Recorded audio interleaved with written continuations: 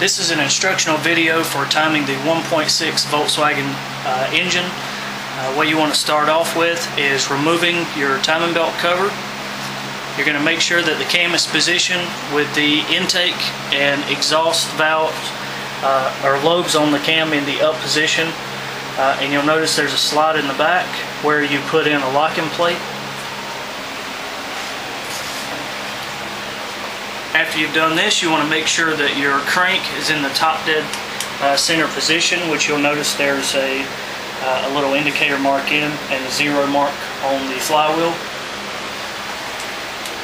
Next, you'll move on and put your locking pin into the injection pump uh, through the injection pump sprocket into the mounting bracket, which is located here. Uh, once all those things are done, um, you can loop the timing belt through and tension. Make sure you do put the proper amount of torque on the timing belt or you could have some serious problems down the road.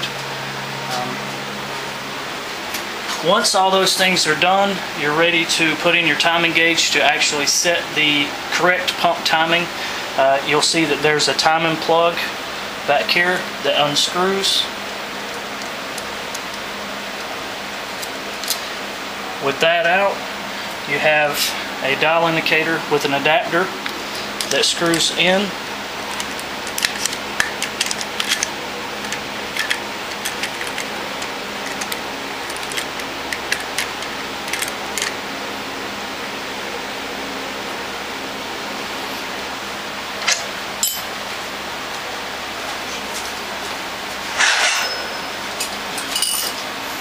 When you have the dial indicator in, you want to put a socket on the crank gear and you're going to turn the crank in the opposite rotation of what normally the engine would do. So when you start to rotate that, you'll see the needle on the dial indicator start moving. It moved a real little bit and then it stopped. When it stops, you turn that over to zero. And then you go with the original rotation of the engine back over to top dead center. You'll see that that gauge now reads about 30 millimeter or 0.30 millimeters. So what you'll do then is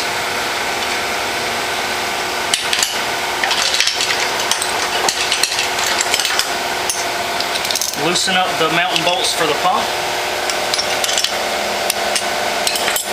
this pump rotates and you just slowly rotate over until you get the correct amount of lift. Uh, for this engine it's anywhere from around 0.8 to 1 full millimeter of lift. Uh, once you've reached the desired amount you just go back over and tighten down your pump mounting bolts. And you remove your gauge, install your timing plug back in, then you're ready to uh, reassemble the uh, valve cover gasket and prime the pump and start the engine.